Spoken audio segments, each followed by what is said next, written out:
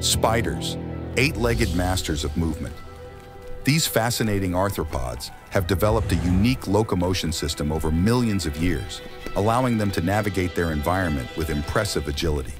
In this short 3D animation, we delve into the amazing world of spider motor skills and discover how these small wonders of nature can climb walls and move in seemingly impossible positions.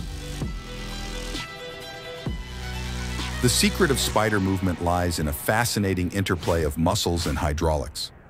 Unlike most animals, spiders lack extensor muscles in their main leg joints. Instead, they use a sophisticated hydraulic system. This hydraulic system works by increasing pressure in the spider's cephalothorax, the head-chest segment. This forces hemolymph, the blood of spiders, into the legs. This increase in pressure leads to the extension of the legs. However, muscles are used for bending the legs, these flexor muscles allow the spider to curl its legs and pull them towards its body.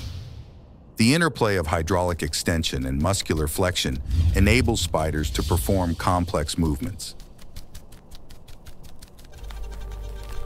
But how do spiders manage to climb walls and even walk upside down? The answer lies in the special structures on their feet. Spiders possess fine branched hairs, called setae, which adhere to surfaces through adhesive forces. Additionally, they have two or three hook-shaped claws on each leg, which they can use to grip rough surfaces. A fascinating discovery was recently made in the zebra tarantula. Tiny silk glands were found on their feet, producing an adhesive silk secretion. This secretion helps the spider control its movements on steep surfaces,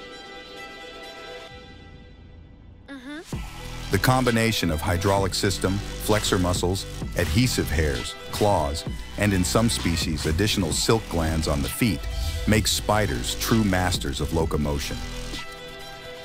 Spider locomotion is a marvel of evolution.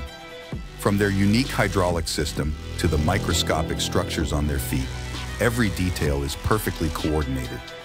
These amazing adaptations allow spiders to survive and thrive in almost any terrain. They are a testament to the incredible diversity and adaptability of life on our planet.